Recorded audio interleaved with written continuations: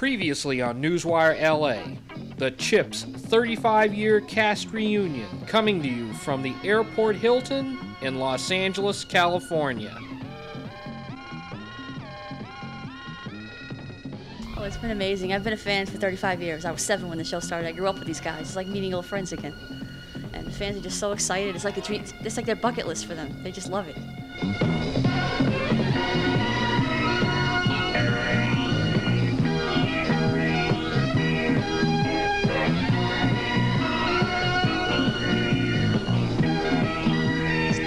Was an incredible opportunity to be on a television show which espoused solving problems with your head and your heart and not with guns and violence. All right, we have it at 600, right? $600.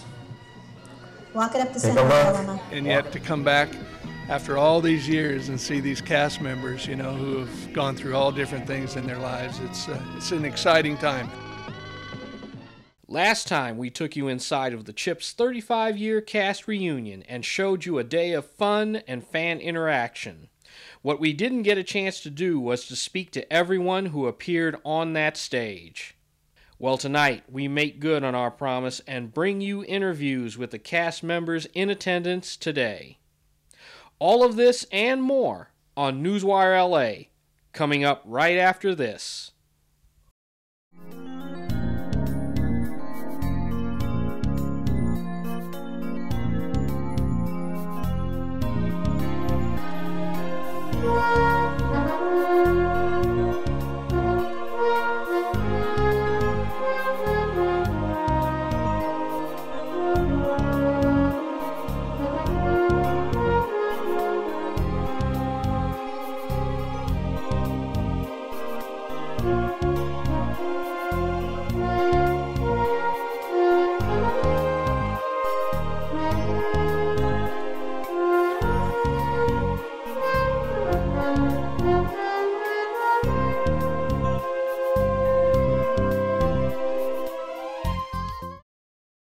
After a long but satisfying day of reminiscing about everything chips, participating in Q&As, moderating auctions and raffles, the cast have retired to the adjoining autograph room.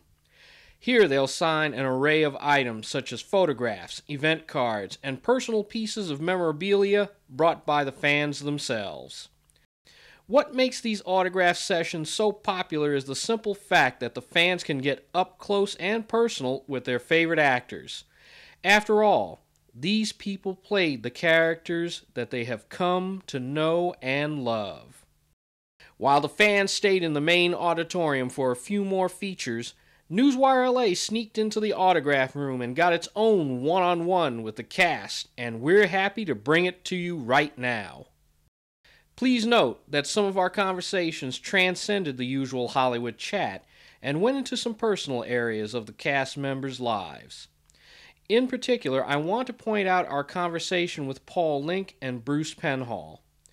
Enjoy, everyone, and we'll see you right after. Chin Thammasaengsri, Newswire LA. I am here with Lew Saunders of Chips. I got you in the autograph room, so I got to be quick. These fans are going to come here really fast. Absolutely, absolutely. Talk to me about what it's like uh, seeing everybody from the show again.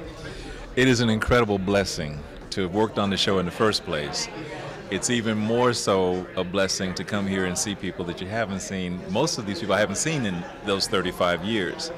To renew those acquaintances, to renew that camaraderie is exceptional, and I'll never forget this day as long as I live.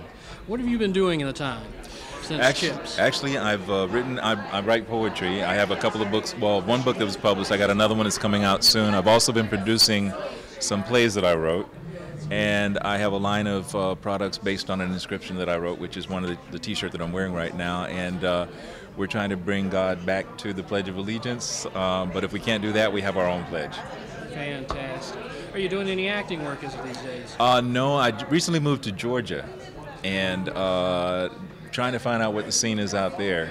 But I really enjoy writing now. I, I really enjoy writing the scripts and, and writing the plays, writing the books. Um, I still do voiceovers, so I'm very blessed to do that. But being in front of the camera, if, if it rolls back again, maybe I'll do it. But at, at the meantime, I'm really enjoying writing. With those voiceovers, where can we hear you? What products? Oh, they're all over the place, uh, especially down in the southeast. Uh, done some for um, Aunt Jemima, S&W Vegetables, et cetera, et cetera. The thing people have to remember about voiceovers is that we change our voices for various products depending upon what they're looking for. And a good voiceover talent has range, and I'm a second bass all the way up to falsetto.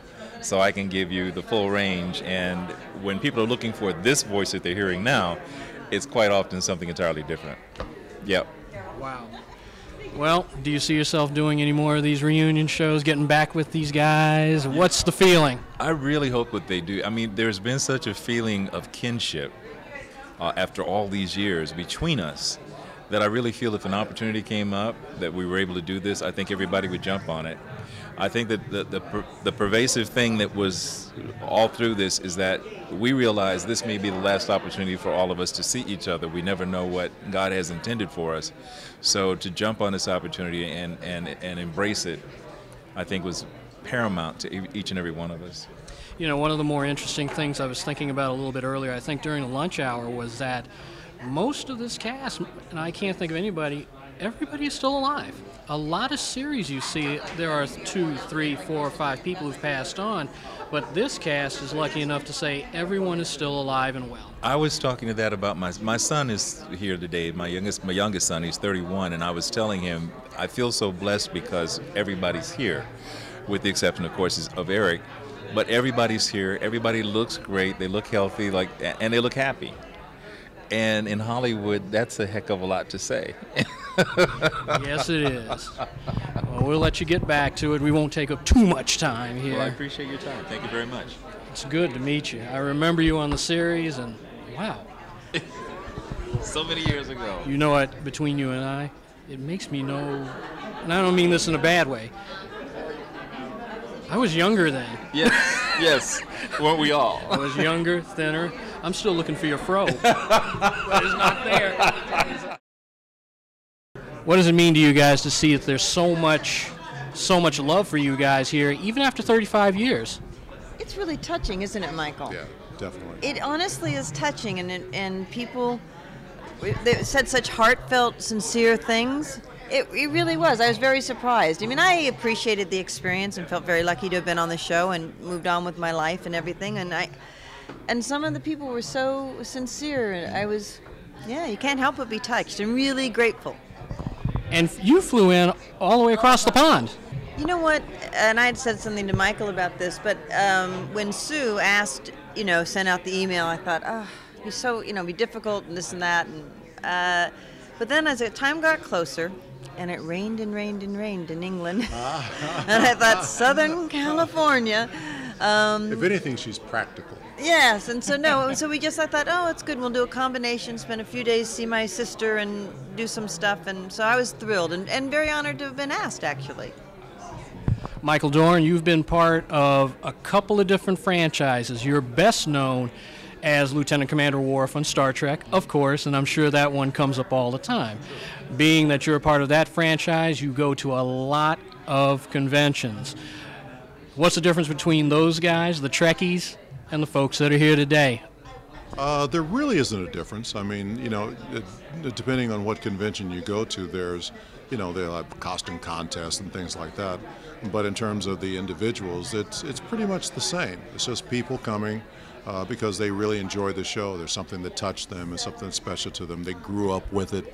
Uh, uh people come to uh, to this convention and to the Star Trek conventions whose parents you know, made them watch the show. You know, you sit down and watch this show with me because this is a great show. And uh, so there's really not that, that not that difference. You know, it's not a huge difference except for the costumes. We're here at the Chips convention today, and so are you. Paul Linke, Grossman, and Bruce Penhall, world famous racer, came in those later seasons. How do you guys feel about uh, the love from the audiences after 35 years?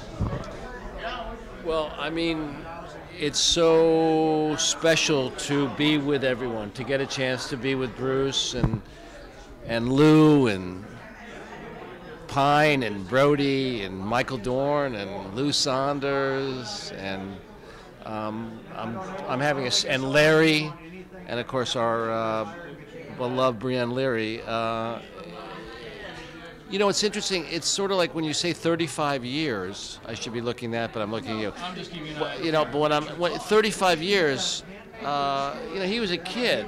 He's still a kid, but I, you, the impact of it, it's. I wouldn't want to go to my 35th high school reunion. I would have no interest in that. Yeah, Quite candidly, uh, this is very special. It's an opportunity for us to reconnect, to touch, to talk, to to be friends. You know, just because life goes on. It's it, things don't don't stop for anything. What have you guys been doing in the 35 years since we last saw you? Uh, I, I don't know, I've been trying to make a living. You know, uh, I've been doing uh, doing acting, uh, getting some jobs, doing some directing. Um, I wrote a one-man show when my first wife died, and uh, that got me in a whole one world, one-man, uh, one-man solo theater world, so to speak. And I've kind of gotten back into acting now. I've kind of been doing a lot of theater. Um, I raised four children, um, remarried for 21 years to the beautiful and talented Christine Healy. Still live in the same house I lived in when I was doing Chips. Uh, you know, really trying to uh, just keep developing as a human being. You know, I'm I'm thrilled to death to be here. I really am. It's uh, like Paul was saying. It's you know these guys really kind of uh, nurtured me along the way. I was just so out of my realm when I when I became a, an actor. When I got on the show, the first day I saw the set was the first day I, I ever saw a set. Period. And these guys were so good to me and and they knew that you know I was very inexperienced and they helped me along the way. And you know what? We spent day and night together on the set, and uh, for me to come back and see these guys now, and you know, of course I didn't get to see a lot of them, but I did with Paul, I did with Lou, Robert. I didn't get to spend a lot of time with Larry. I did with Eric. And uh, you know what? These guys mean a lot to me, and they've been very, very good to me. So it's nice. And you know, I, I then I look out in the audience and see these, the fans that come from all over the world. That you know that touches me, and you know I, I am happy to be a part of this, and I, I love where the money's going to the charities, and uh, the people give their time, and, and these actors give their time. I, I am thrilled to death. And it is it is a real nice thing and i know it was noted at the top of the uh, program that you're coming out here. It's nice to see you out here after a very challenging year. How has it lifted you up after such a challenging year? Well, you know, uh, after my son's accident, um, Paul, Robert Pine, all these guys, Larry Wilcox, they all reached out to myself and my family, and you know, uh, it was so heartfelt for us. And you know, there was a big part of me that did not want to come here. Th- there's a big part of me that, and my wife and my family, that we don't really want to be doing any sort of celebrating of any kind. We feel it's not fair. That's just an emotion that we're dealing with because of Connor's death. And, you know, we're, we're reaching out and we're trying to, you know, pull ourselves together, and it's very difficult. Um, but uh, I'm so pleased that, that we're here and, and get to spend the time with these guys and, and these fans that put me and a lot of these other guys on the board. It, it means a lot to me, and, you know, we just have to keep on pushing forward. I just have to say that this is one classy guy, and uh, I, I feel very honored to have the opportunity to be with him today because I've really he's been in my thoughts like on a daily basis because it's a tough thing. Two classy guys i got a chance to talk to today and i really mean that thank you for talking to us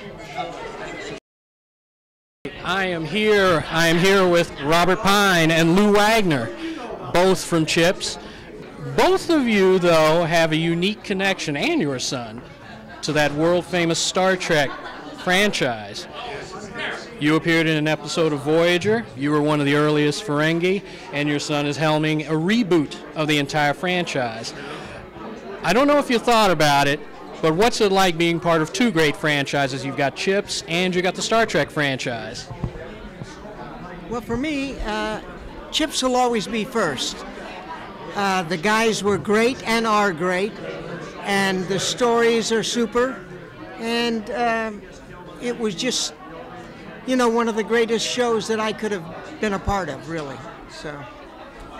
Well, um, yeah, I've never thought of it as being part of two franchises. I did actually two episodes of uh, Star Trek. I did one, uh, the last iteration on television, and then I did the earlier one. I, I get them all. and um, as far as my son, um, I couldn't be more thrilled that he's having success during that. He tells me the new one, which is coming out next May, I believe, is absolutely super. That I think uh, all the fans will really enjoy it. So, um, um, no, I'm listen. I'm I'm glad to be, as I know Lou would say the same thing. I'm glad to be associated with anything Yeah, that's a yeah. success, even the non-successes, if they pay me. And what are you guys doing today? What do you get? What project can we see you in? Uh, I'm on a show called Raising Hope, and I play the family uh, uh, lawyer. It's a funny show.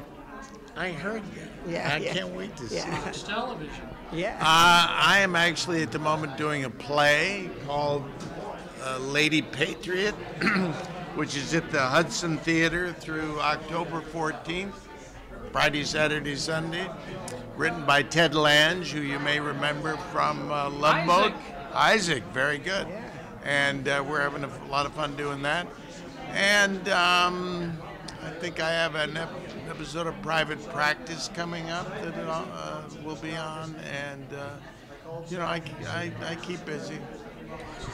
What does it mean to you guys to come out here and see? With the Star Trek franchise, it's built in. You have a you have a convention and and the lines will be wrapped around the. What does it mean to you to come out to this particular event and find that so many people are still touched by the show, in love with the show, 35 years after it first premiered on NBC? Well, that's why it touches my heart because it was great for me, of course. You know, it was my meal ticket and uh, great parts and everything. But to have people care and and some people changed their lives because of our show. You know, some people found a career, and uh, it's very touching. Very touching. No, it, it's very gratifying. I think to any actor who finds people who appreciate what they do, and our show, which we, you know we were all a lot younger then, and it was a big thing in our lives then. Uh, that for a lot of us, our first really big success, and um, to find people who shared the joy of that and uh, whatever, it's uh, it's extremely gratifying to be sure. You know, one piece of trivia that I read somewhere, and you can confirm if it's true or not. When you first got the part, you didn't realize, or maybe maybe you found out later, that it was a motorcycle sergeant. Do you ride motorcycles, or did you have an aversion to those two-wheel beasts? I know somewhere on the internet it says that I I asked them never to